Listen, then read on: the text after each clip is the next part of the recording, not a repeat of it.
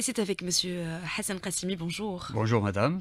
Le développement local euh, est un sujet attrayant, polyvalent, qui concerne aussi bien la collectivité euh, décentralisée que tous les secteurs qui sont impliqués dans différents projets centralisés structurants. Effectivement, l'aménagement du territoire est un outil important, devant garantir un développement régional harmonieux et équilibré, dans le moyen et le long terme.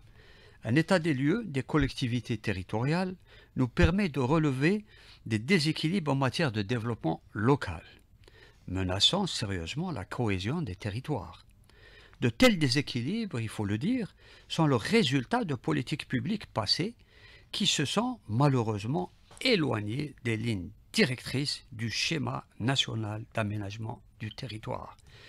Les premières évaluations faites sur ce dossier nous laisse penser qu'il est nécessaire de se doter d'un outil de planification et de management, devant, devant ouvrir le champ du dialogue entre experts pour nous éviter les potentiels écueils en matière de développement et d'aménagement du territoire.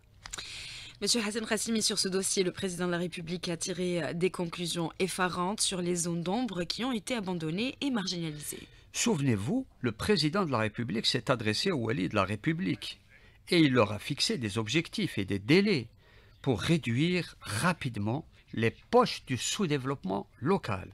Un tel état des lieux porte atteinte à la quiétude du citoyen, à sa tranquillité et à la confiance entre gouvernants et gouvernés.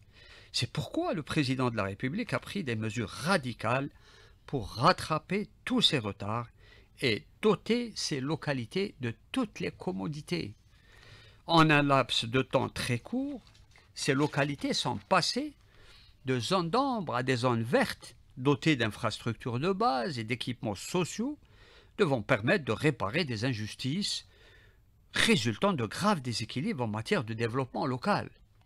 Pour la première fois, le président de la République a pesé de tout son poids pour doter les wilayas en retard d'un programme complémentaire avec des budgets conséquents pour mettre à niveau ces collectivités décentralisées.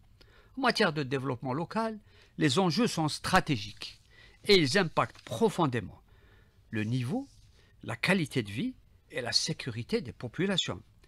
Le programme d'action du président de la République pour le développement des zones frontalières doit en premier lieu assurer la sécurisation de ces territoires sensibles et stratégiques. Le développement local pose aussi d'autres problématiques en relation avec la mise à niveau de nos dispositifs de gouvernance décentralisée. De grands chantiers ont été ouverts par le président de la République pour le développement et l'aménagement de nos territoires en vue de prendre en charge les exigences futures d'ordre et de sécurité publique.